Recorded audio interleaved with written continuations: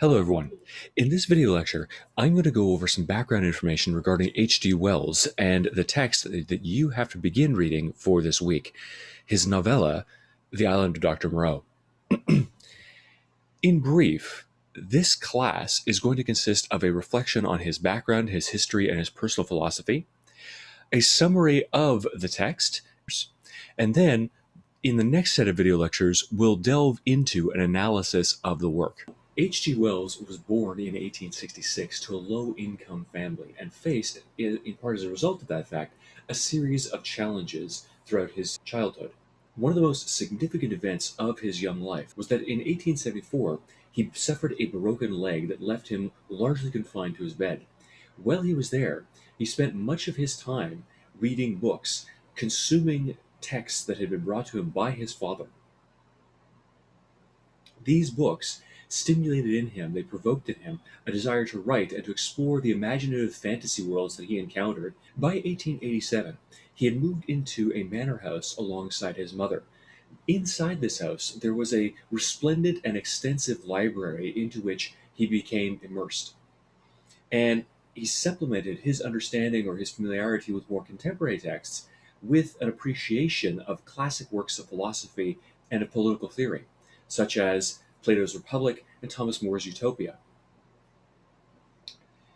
Wells' exploration of literature, politics, and philosophy at this young age would then help to shape the author that he became. The text that you're going to be reading for this section of the course is heavily immersed in issues of the political organization of society and the proper political organization of society based on worldview.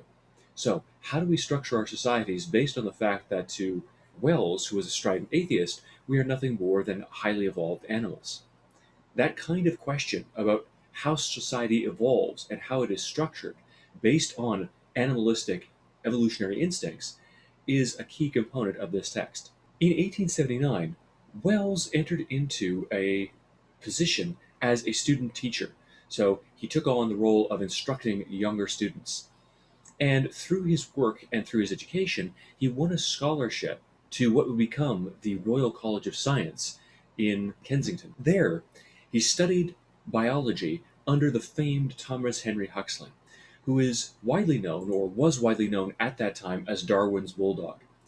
Huxley engaged in numerous debates with opponents of Darwin's theory of evolution. Wells' understanding of the world, his appreciation of the, the scientific understanding of the world that he attempted to articulate as within his works, was very much shaped by his time spent under Huxley. And we'll see how those uh, evolutionary biological underpinnings and his familiarity with biology comes through in this text as we continue to read it. Wells himself was, by philosophy and inclination, a strident atheist, atheist and materialist. Now, an atheist is someone who believes that there is no God, and a materialist is someone who believes that there is nothing in this universe but matter. So everything in this universe consists of matter. There is no spirit, there is no uh, sort of ephemeral force of any kind. Human beings think because we have these few pounds of fleshly matter inside of our brains. The brain and the mind are indistinguishable, or the brain and the electrochemical processes therein are responsible for producing the mind. There is no objective reality to certain things like um, the categorization systems that we use. They don't exist outside of ourselves. They are merely things that we um, impose upon the world. Now, Wells himself is considered to be one of the great fathers of classic science fiction that, who helped to popularize and develop the genre. After graduating with a Bachelor's of Science degree in zoology in 1890, he then began to find work as a teacher.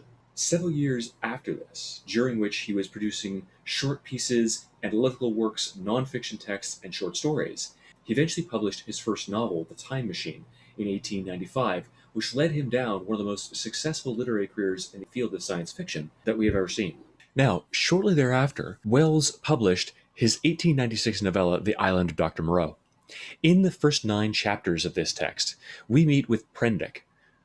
Prendick is a gentleman from England who is traveling aboard the Lady Vain. Well on his journey, the Lady Vain collides with a derelict, and he and two other survivors escape on a lifeboat or on a dinghy. These two men, eventually driven to madness and desperation, turn on each other. The narrator, Prendrick, says that they grappled with each other and then fell overboard, fell off the dinghy, and drowned. Eventually, at the verge of death, in the throes of starvation and desperation, Prendrick is found by a passing ship. That ship is carrying a man named Montgomery, who is transporting a series of animals to the island of Dr. Moreau, or what we will come to know is the island of Dr. Moreau, uh, on the orders of his employer, the titular character, Dr. Moreau.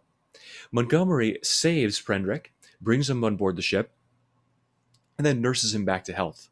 He is then taken to the island of Dr. Moreau. While on the ship, as he is recovering, Prendrick encounters the strange black servant of Montgomery, who has a bizarre, almost fire or red flame to his eyes and a sloping brow. There's something bizarre and slightly inhuman about this person that he keeps encountering.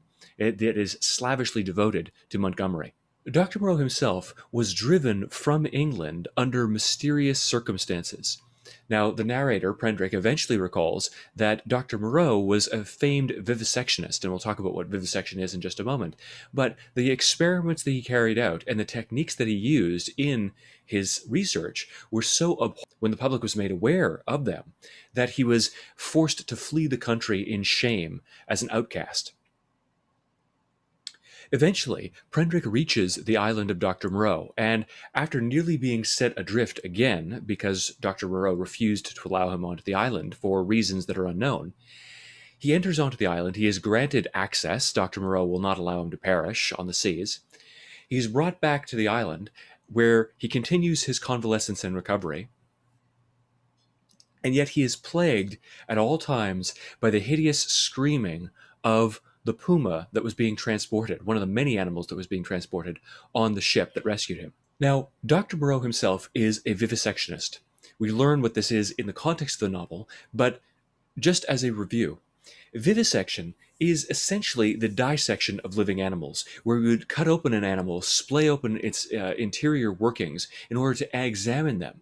In the same way that dissection allows us to understand the organelles, the functions, and the organization of a dead creature, vivisection does the same, only with a living creature, which is very much more uh, relevant and germane, helpful to an understanding or gaining an understanding of one of these creatures because you can see the systems at work within it while the creature is still alive, while they are actually still at work.